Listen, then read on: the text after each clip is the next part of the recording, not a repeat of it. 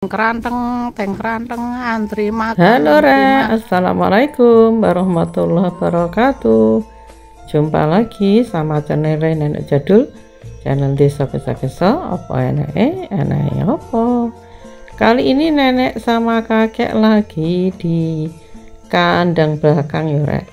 Tuh penampakannya kambingnya pada ngantri minta sarapan Re.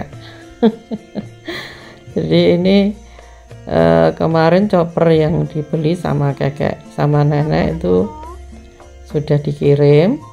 Kemudian ini untuk pertama kalinya kakek uh, mau nyoper rumputnya di sini tuh penampakannya. Choppernya warnanya biru terpalnya warna biru. Kakek kaosnya warna biru. Kemudian tongnya warna biru Nah ini penampakan kayunya rek, ini kayu juar ini pesan dari Tulungagung ya karena cari yang tua-tua nanti untuk persiapan untuk kandang kambingnya. Tuh kakek ini lagi ngambilin sisa-sisa rumput yang kemarin dikasihkan sapi. Jenenge rampen ya rek. Di rampennya kambing itu sisa makanannya, sisa rumputnya dikasihkan ke sapi, sapinya masih mau itu. Nah rumputnya sudah babat kemarin. Nah ini penampakannya. Disapu dulu terpalnya biar bersih. Kemudian kakek nyalakan choppernya rek. Jadi ditarik seperti itu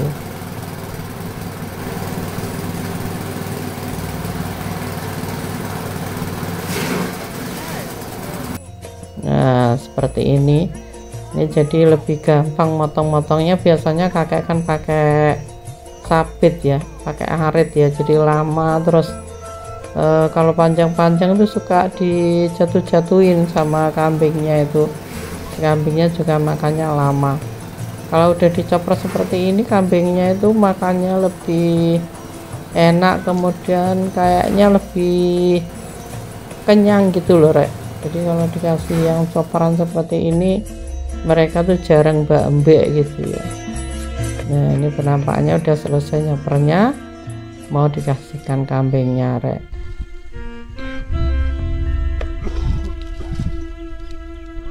Jadi pekerjaannya juga lebih cepat ya kalau pakai sapit ini malah satu-satu. Potongnya lama. Kalau ini udah hemat tenaga hemat waktu terus kambingnya juga suka.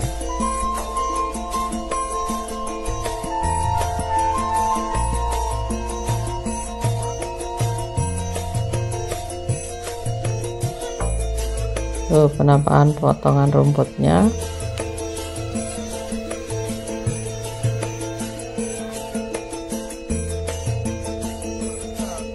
Nah ini rencananya kandang sapi yang kemarin itu yang penggemukan itu sekarang harga sapi uh, lagi turun ya rek. Terus kemarin sempat ada PMK juga jadi kalau ternak sapi itu uh, uh, dipertimbangkan lagi ya.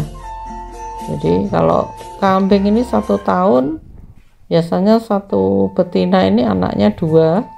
Terus satu tahun itu uh, beranaknya dua kali. Jadi untungnya lebih cepat ya Insya Allah makanya rencananya nenek sama kakek yang sebagian kandang sapi di sana itu mau dibikin kandang kambing lagi. Terus rumputnya nanam di sawah. Nah biar cepet ini dicopot dulu seperti ini sambil belajar-belajar ya. Soalnya belum uh, pernah apa melihara kambing yang lebih banyak. Ini anaknya kambing dua ini empat ya yang dua sudah kejual. Itu kemarin empat bulan udah kejual 3 juta ya yang masih usia empat bulan. Nah nah ini coperannya uh, ini dicoba bikin selasa ya. Tuh jadi uh, potongan rumputnya dimasukkan ke tong ditutup rapat. Nah ini untuk persediaan pakan ini. Jadi nggak tiap hari nanti rencananya nggak tiap hari uh, ngerumput atau mencari rumput ya atau ngarit ya. Tuh. Jadi kalau dimasukkan di sini tuh rumputnya baunya jadi seger gitu ya. Terus awet asalkan uh, pembuatannya itu penutupnya rapet seperti ini.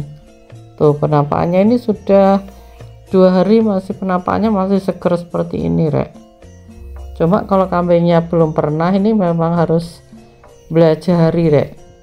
Ini belajar karena biasanya suka rumputnya itu segar baru e, babat. Nah ini kan sudah dimasukkan ke tong jadi mungkin mereka belum kebiasa jadi harus belajar dulu dikasih e, apa namanya itu polar.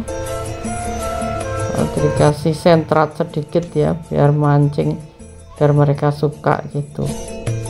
Nah siapa yang mau melihat cara bikin selasanya silahkan komen di kolom komentar ya. Insya Allah nanti dibikinkan video cara buat rumput selasanya ya Oke, gitu aja video nenek kali ini. Jangan lupa ditonton, kasih like, di share, di komen yang positif.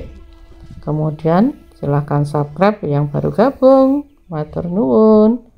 Assalamualaikum warahmatullahi wabarakatuh.